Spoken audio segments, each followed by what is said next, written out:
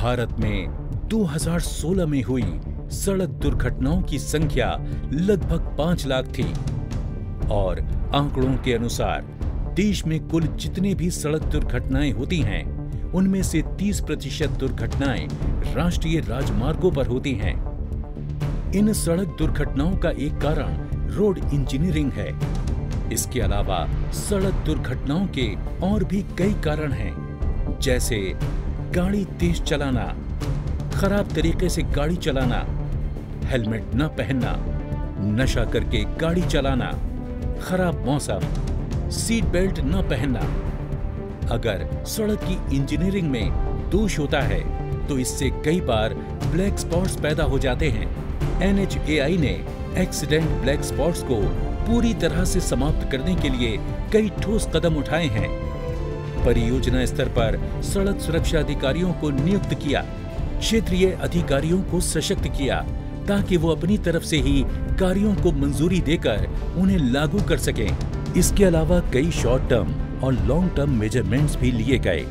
Short term measurements सभी पूरे हो चुके हैं, जैसे कि ट्रैफ़िक सिग्नल ठीक करना साइन बोर्ड लगाना या फिर रोड की मार्किंग करना वगैरह।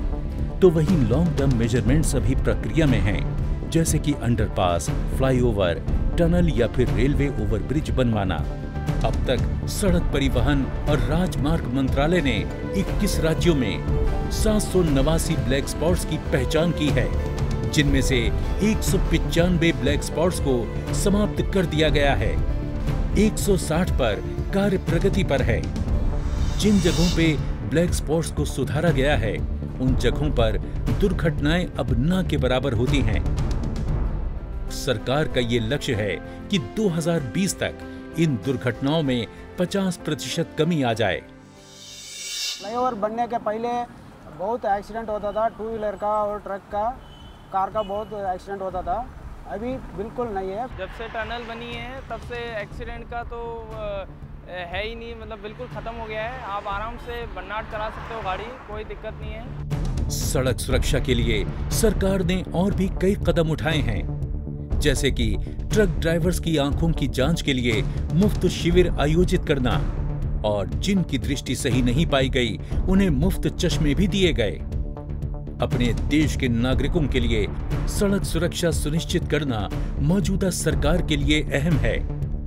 और जिस तेज़ी से इन एक्सीडेंट्स ब्लैक स्पॉट्स को सुधारा जा रहा है, इसमें कोई शक नहीं कि हर ज़िंदगी को बचाने के लिए सरकार ने जी जान लगा दी है।